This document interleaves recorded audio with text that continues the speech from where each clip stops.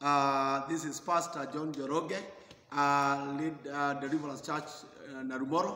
I wish to welcome you for this service where we are sharing the word of the Lord.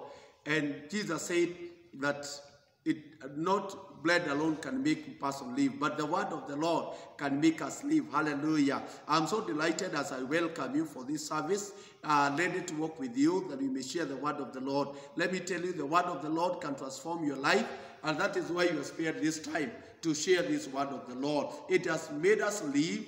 Uh, it has given us hope. It has transformed our life. It has created relationship that we, are, we, we have enjoyed, either at a family level, even at a working place, and even the life that we lead every day. I want to welcome you that this is Deliverance Church in Naromoru. It is situated just right behind the, the market in Naromoru town. Uh, I wish to really welcome you with a lot of joy. I am born again. I love Jesus Christ because he died for me. He is my savior. Hallelujah. Uh, today, uh, God has spoken to me and he has given me uh, a message and he has uh, told me to share with you the word of of his word uh, on how to handle discouragement. Praise the Lord. Uh, this is a very nice topic that we need to go through and understand that discouragement do come our way, uh, whether sourced from within or from without. People may discourage you. You may not get discouraged because of the things that you have not been able to do, and therefore that is a, a discouragement that, that comes from within. From without, it will come from the external source. People may discourage you. They may keep, up, uh, they may uh, give you a promise which they may not keep, and therefore it may lead to discouragement. And therefore, I wish to find out what is discouragement. Uh, and this evening, I want to tell you that this discouragement is a hurting feeling that disables a person's ability to pursue his, her, or her discourse. Praise the Lord. Uh, this is not a good feeling because it hurts. It becomes a hindrance from pursuing one's discourse. It disables. Disabling simply means incapacitating or hindering somebody to realize his or her ambition, his or her goal. And therefore, when God speaks uh, with, uh, with me about this topic, I realize that there are so many discouragements that are, that are in the current environment that we are living. There are so many discouragements. You may be discouraged by your place of work. Maybe some, maybe you may not be working. This may be a source of discouragement. You may have a friend.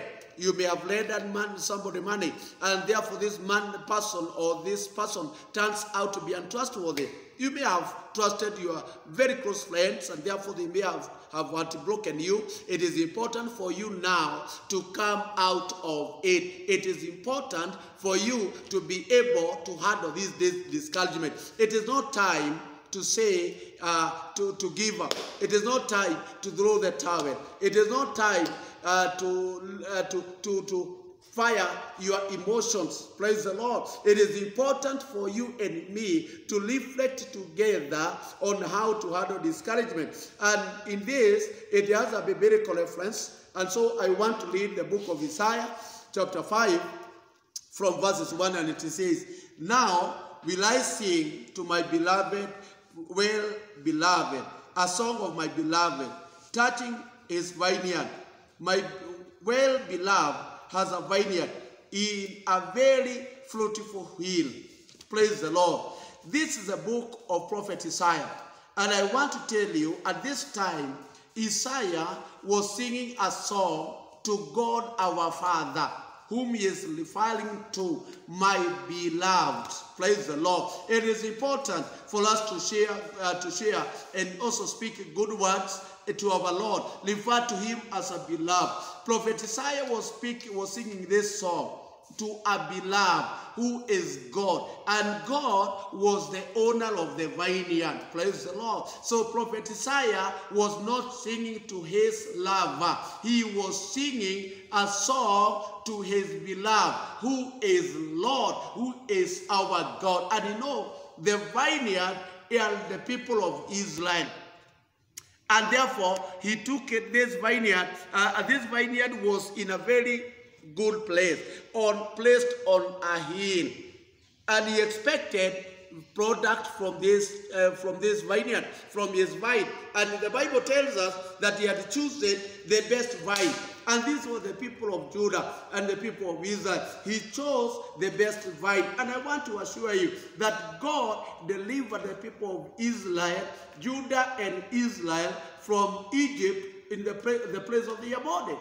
And therefore he selected them as a good vine and placed them in the land where he displaced the Canaanite and settled his people. And the Bible tells us that this is a land full of milk, honey. It was full of good things. Praise the Lord. And I want, I wish to, you uh, want you to reflect on the life that you are reading. God has created you with a good health. God has placed, placed on you on this planet. Maybe He has given you a job. Maybe He has given you a family. This is a good life that God has given you. And if you are not married, you have a good health, maybe you have a job. And if you don't have a job, this could be a source of discouragement. When all this causes discouragement to you, you understand that God was discouraged by the people of Israel.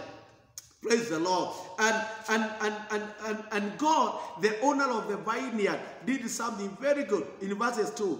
And he fenced it and gathered out stones thereof and planted it with the choicest vine and built a tower in the midst of it and also made a wine press therein. And he looked that it should bring forth grapes and looked that it should bring forth grapes and brought forth wild grapes. Praise the Lord. He prepared a piece of land and he is narrating very well that he removed uh, the, the, the stones. He removed uh, the, the, the stumps of tree and he fenced, uh, he built a tower, a wine place. He was ready to gather good grapes from the vineyard. But look at it this way, that what he got was vineyard, uh, was grapes that were wow, hallelujah. Vine, vineyard that could not produce uh, they, they were not good vines. Praise the Lord. And so God Himself was discouraged, was not happy at all with the people of Israel. Why? They did not give what God expected. And this is what we are referring to as the, the, the, the, the wild grapes. Did not produce grapes that, that, that were pleasing. And I want to assure you, uh, to tell you, it is good to desire to bear good fruit. Verses 3. And it says, And now the inhabitants of Jerusalem uh, and men of Judah, judge, I pray you, between me and my vineyard. What could have been done more to my vineyard that I have not done in it? Wherefore, uh, when I looked that it should bring forth grape, but it brought it forth wild grape. A- And God is asking for a, a, a mediator. He's asking for somebody to judge between him and his vineyard. Our God is so disappointed, is so unhappy. He is discouraged. Why? Because his expectations were not met. His desires were not fulfilled. That the, the, the vineyard did not produce the fruit that were expected. Praise the Lord. And therefore, when you reach that point as a human being, you get discouraged. And therefore, that tells you that discouragement do come. Discouragement do happen. Discouragement do happen. Rise up. Let you not get discouraged. Why? If God was discouraged, and you can see him say, I now summon men of Judah and Israel to come and judge between me and vineyard. It means that God was not happy at all after toiling with the people of Israel, after using his mighty hand to deliver them from the claws of Pharaoh, from oppression in Egypt. These people forgot so easily. Let you not forget that even when you are uh, disappointed, God came for your rescue. God helped you. And even now, God understands your disappointment. Why? He was disappointed by the people of Israel. He was not pleased at all. He did not give the kind of fruit that he could have expected from the people of Judah and the people of Israel. Hallelujah. Maybe you are discouraged uh, discouraged by your wife. Maybe you are discouraged by your children. You are discouraged by your by your business. Let me tell you let you not get there is an answer. Let you not get discouraged. God was discouraged, but somebody called Isaiah sang a song to all to his lover who is our God. Our God requires of this one thing from you that he has done virtually everything for you. He requires you to sing a song in his honor, to praise him and even worship him. Hallelujah. That's the first case of discouragement. I want to go to Joshua, the book of Joshua, chapter 7. Chapter 7. And I simply want to read verses 5. And the men of Ai smote of them about thirty-six men, for they chased them from before the gate even unto Shebarim, and smote them in the going down, wherefore the heart of the people melted and became as water. This is another case, dear friend, of disappointment. And in this case, we are looking at Joshua. Joshua was a leader who was chosen by Moses and he was laid hard on by Moses. And the Holy Spirit came upon him.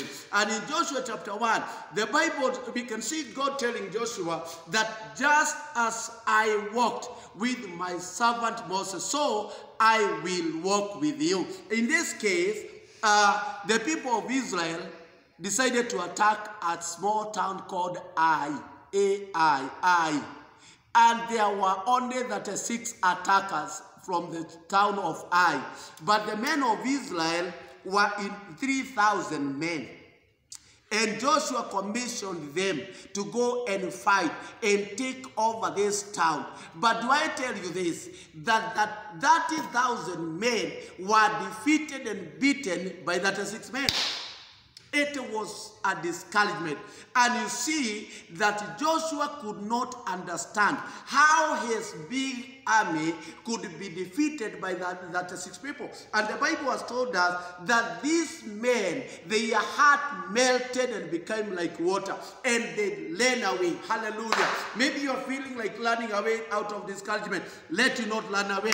It has happened to Joshua. It has happened to God. In Isaiah chapter 5, it happened after preparing the vineyard that the vineyard did not give the collective grapes. Praise the Lord. Joshua Joshua's army was defeated. Hallelujah. I want to assure you, when God is on your side, you can never be defeated. When God is on your, on your side, he will fight for you. The Bible tells us that your enemies will come in one way, but you will scatter them in seven ways. And today, I want to assure you, your enemy are scattered in Jesus' name. Praise the Lord. Now, praise the Lord. Now, for you to handle discouragement, we have a process. Number one, it is good to play. It is good to play. Play over your discouragement. Tell God whatever is discouraging. Remember to play, dear friend. If you read Joshua chapter 7, verse 6 to 9, you realize that Joshua played. He sought God. Why? His army was defeated. When you lie there defeated, ask God for help. It is good to play before you take any action. It is good for you to play. Remember to play. Remember to play this evening. Ask God what the next step that you are going to take. Let God guide you. That's number one. And when you are playing, ask God for a special deliverance.